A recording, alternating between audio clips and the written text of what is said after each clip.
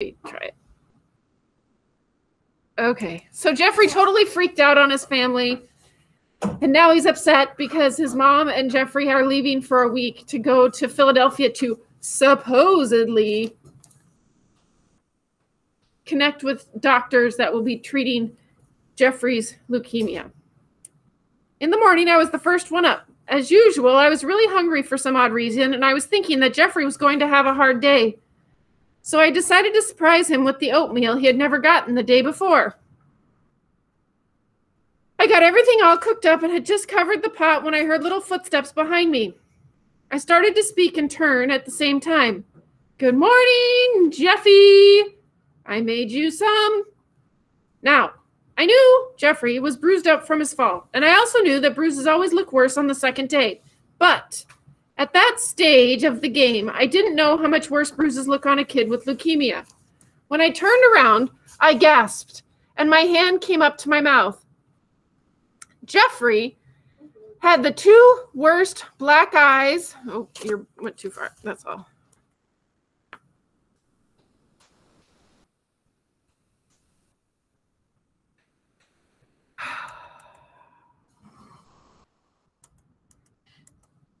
Jeffrey had the two worst black eyes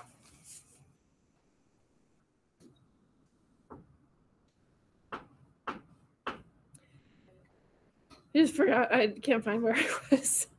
Jeffrey had the two worst black eyes I'd ever seen, and his nose was swollen to about twice its normal size. He saw my reaction and winced.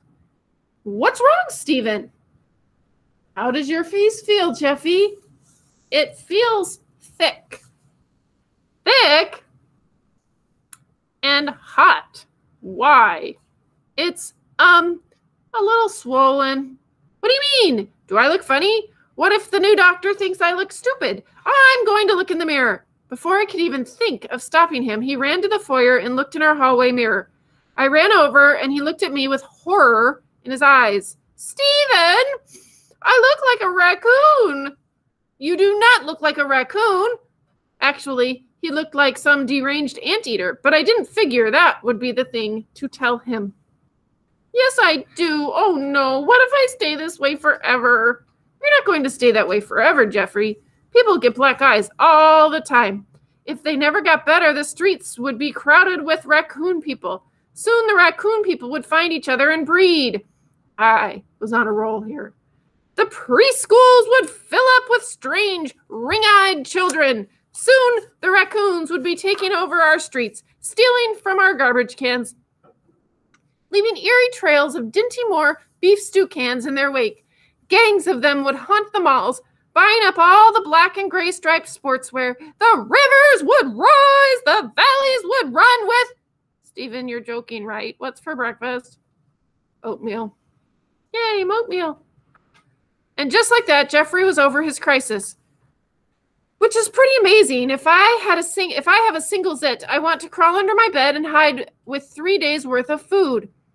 This kid looks like he lost a boxing match with a gorilla, and it takes him like five minutes and a bowl of hot cereal to forget about it. While Jeffrey was eating, I snuck upstairs to warn the rents about Jeffrey's looks. I figured my mom was going to have enough shocks to deal with, so I should spare her this one if I could. It worked. Or at least the rents managed to hide their reactions from Jeffrey when they came downstairs. We all sat at the breakfast table pretending to be normal and cheerful. But you know how when you watch the Brady Bunch, you think, oh, come on, nobody is this happy. What's wrong with you people? And who picks out your clothes? Well, breakfast was sort of like that. Only instead of the clothing problem, problem, we had an unmentionable cancer problem. The goodbyes were pretty uneventful, and Jeffrey even managed to bug me which was probably a good sign. On his way out the door, he turned to make fun of his brother. You're going to school. You're going to school. If he had known what was coming up for his day, he would have been begging me to smuggle him to school in my backpack. Once my mom and Jeffy left, my dad and I just kind of slid around the house getting ready to face the day. Not quite ready to face each other. We got into the car without word one being spoken, and on the actual ride, it was so quiet between us that I imagined I could hear the tire treads rubbing against the road. I couldn't wait to hop out of there and get into school, but somehow, when we did pull up to the building, I didn't make any move to get out. My dad nearly looked at me, and I kind of stared through his right his right shoulder. After about a minute of this, we both mumbled at once, "Well, okay." That was the deepest conversation we would have all week. I got out and went to school. When I came around the corner towards homeroom, I saw Renee and forgot about everything else. She was wearing his shirt that was clingy and shiny and maybe a little bit see through, with a skirt that just wasn't quite doing its whole job. I stopped and stared for far too long until Annette banged my arm. Check her out! There's no way that doesn't violate the dress code. I hope she gets marched to the office. It's disgusting. Don't you think so, Steven? Steven? Steven! So at least Annette was talking to me again.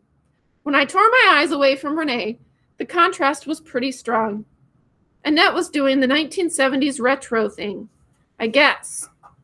She had on this sweater that was pretty tough to describe. It looked like what you'd get if all of your parents' favorite dinosaur rock bands died and left you all their extra fabric. And then a little old blind lady sewed all the pieces together with a tasteful burnt orange thread. It made a statement, though. It truly did. Uh, yeah, sure. Oh my God. I almost forgot. Stephen, how's your brother? Did you get in trouble? I didn't get in trouble, and he's fine. I'm sorry. I yelled at you on the bus. I'm sorry too, Steven. I know how much you care about your brother, and you must have been worried. Me? Worried? Maybe. You might notice that this would have been the perfect time to tell Annette the whole story, but for some reason, I didn't want anyone at school to know it turned out that once I decided not to tell Annette at that moment, it became almost impossible to tell anybody. So for the rest of the week, while I was walking around in a fog, I didn't say a word. I joked around with my friends, played the drums, sat in classes, and acted even more lame than usual around Renee. But I didn't let anybody know what was going on with Jeffrey. It was weird. The longer I pretended everything was normal at school, the more I believed everything was normal. I started thinking over and over again doctors are wrong all the time. You hear about these malpractice things every day where people get medicine that's not even theirs. I bet Jeffy's down there in Philly guzzling cheesesteaks, having a great time, getting waited on hand and foot by mom, while I'm up here eating all the hungry man dinners on the East Coast, and dad is pretending I'm some odd 13 year old stranger who's just moved in to keep the microwave warm while his real family is away. Woo! Are you guys familiar with the five stages of grief? The five stages of grief. So, the five stages of grief. The first, um, let me share with you the five stages of grief. There is denial, there is anger, there is bargaining, depression, acceptance. So if you had to identify where our good friend Steven is in the five stages of grief, where would you put him? Denial, anger, bargaining, depression, acceptance. At home? Why don't you put the number associated with the, the word. One denial, two anger, three bargaining, four depression, five acceptance. So I'm seeing threes in here, I'm seeing ones in here, I'm seeing twos in here, All right. threes. Keep that in mind, and we're going to check in with ourselves to see if we agree with ourselves as we move forward. The five stages of grief um, are what people experience after a traumatic event. It could be the death of someone, it could be a traumatic event like finding out your kindergarten aged brother has leukemia. It could be after a very horrific car accident where people move through these stages of grief denial, anger, bargaining, depression, acceptance. You don't necessarily have to follow them in that particular order. So we're kind of thinking that he's um, between, he's somewhere in denial, anger, and bargaining. Meanwhile, that wasn't quite the way things were actually happening. I found out later, I found out later that my dad, oops, I found out later that my dad was getting horrible phone reports from my mom for an hour each night, long after Jeffy and I were both asleep. So, in a sense, my dad was shielding me by not talking. I could have used some companionship that week, but maybe I wouldn't have believed anything about Jeffy until I was ready, no matter what dad said. The week went by in this half awake sort of way, for me at least, while I was staring at Renee in fifth period math and praying nobody would make her change her outfit. Jeffrey was getting strapped down to a gurney. While Annette was smacking my arm yet again, a doctor was shoving a huge needle through Jeffrey's back into his hip, all the way into the bone. While I was laughing at some joke the teacher hadn't heard, Jeffrey was screaming as the needle sucked the bone marrow out of him. But I was just thinking about me and how ridiculous it was that everyone except me was getting so freaked out over a stupid, bloody nose. The only times all week when I truly felt all right were the times when I was playing the drums. I have always been pretty serious about hitting the old practice pad at home, but now that I was living in the conversation free, TV dinner zombie zone, I basically had nothing else to do. It was truly ridiculous. Within days, after Jeffrey's fall, I got to the point where I was spending 25 minutes a day playing double stroke rolls on the surface of a dime without missing or even moving the coin. I knew my drum teacher, Mr. Stoll, was going to be pretty impressed with my progress. Before this, he had assigned me maybe two pages in each of three different exercise books every week. But now I was doing two pages per night in each book. I was also practicing for my upcoming conga drum stardom. Mr. Watra sent, lent me a pair of really expensive bongos to use at home, along with a huge stack of ancient Latin jazz records. He had even called Mr. Stoll. They had played in bands together. Isn't it weird when grown ups have actual lives? To tell him what I should practice on them. Fortunately, my dad has a Stone Age stereo system in the basement with an actual turntable so I was playing along with at least one whole Latin record each night. I know, I know. You're probably thinking that my new superhuman drum schedule must have been cutting into my homework time, and in fact, you would be correct. Except that I completely stopped doing homework the day Jeffrey got sick and didn't start again until I got busted by my teachers much, much later. I sometimes looked at my homework assignments and occasionally even wrote a heading on a piece of paper as if I was about to attempt the work. But somehow I wound up going to school empty handed day after day. In class, too, I just started basically blanking out every period, every day. You might also think that lots of my friends would notice if their pal Steven stopped doing schoolwork, started staring off into space 85% of the time, and suddenly avoided any mention of his family. But you'd be wrong there. I think every group of friends has a guy for every different function. Like the sympathetic guy, the funny guy, the jock, the guy who gets picked on. I had never really thought about it before, but apparently to my friends, I had two roles funny guy and drum guy. So as long as I carried a pair of sticks and kept the humor coming, nobody was going to guess anything was up with me. Except Annette. Pretty much. Every morning in homeroom, she would ask me what was wrong. The first few days, I would make a joke or say that nothing was the matter. After that, I got more and more impatient with her every time she asked. I kept hoping that if I was just snappish enough, she would leave me alone. Meanwhile, she stuck with me. She was my best friend. Maybe my only true friend. But I wasn't seeing it. Says there was only one way I was communicating with the outside world at all. And that was my English journal. Miss Palma has this rule that if you fold down your page, it shows your journal is private. Well, my journal was starting to look like some kind of weird origami factory with page after page folded on different angles and edges sticking out all over the place. Of course, Miss Palma had to know that I was doing something strange because again and again I'd be writing three and four pages, supposedly about these completely impersonal topics, and then folding down all the pages one by one. But either she really believed I was having deep emotional reactions to the questions like, should our school have uniforms? Or she was just giving me enough rope to hang myself. Sure it's not depression? Here's the journal I wrote on the sixth day after my mom and Jeffrey went away the day before they came back. If I could say anything I wanted to to anyone in the world right now, I would be all over Annette. Annette is not working. breaks it. I would be all over uh-uh. Annette. You first, you broke it already. Who died and left you Sherlock Holmes? Why is it your business if I don't do my math homework?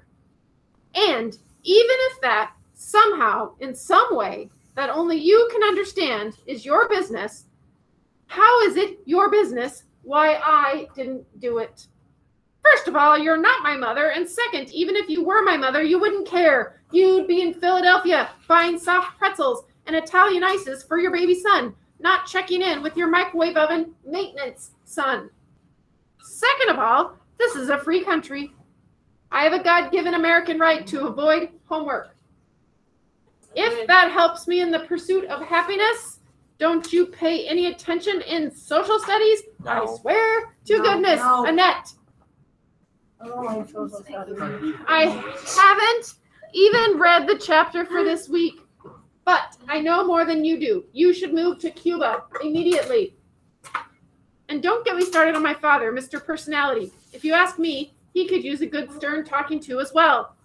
Dad, how about sometime this week, just for kicks, you try making eye contact with me? Would that be so painful? And how about you ask how my day was and then actually listen while I'm telling you? Here are some sample questions. You can try until you get good at this. Son, what did you learn in school today? How's the drumming going? Are you at all worried that your mother and brother have disappeared into thin air and nobody's telling you thing one about what's going on with them? How about the Yankees? I think they might win the series this year. Any supposed father who doesn't even address his son, say once a day, isn't even a father, in my opinion. So thanks for being my sperm donor, Pop.